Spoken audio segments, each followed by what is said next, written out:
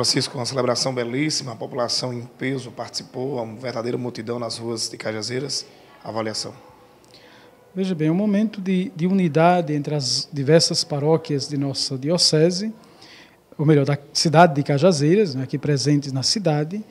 é, em torno da catedral, que é a igreja principal, a igreja mãe da diocese.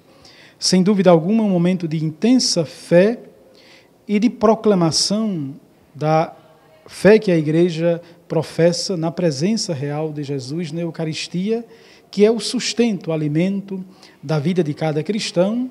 é a Eucaristia a fonte, mas também o ponto de chegada de toda a vida da igreja, e nós nos reunimos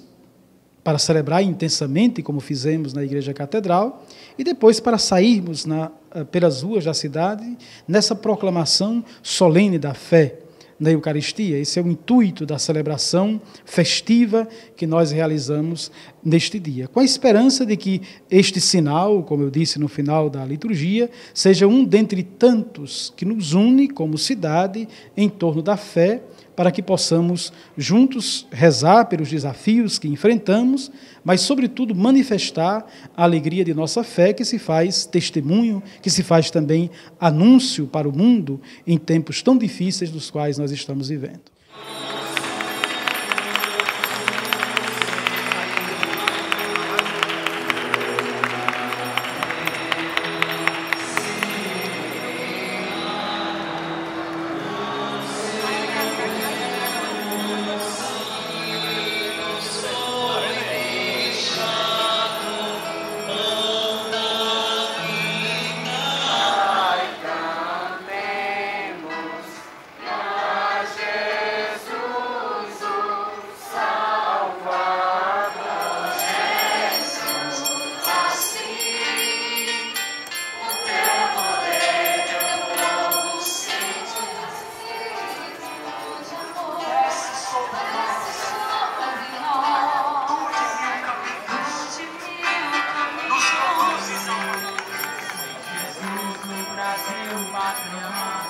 não pode ser fraco, não pode pedir.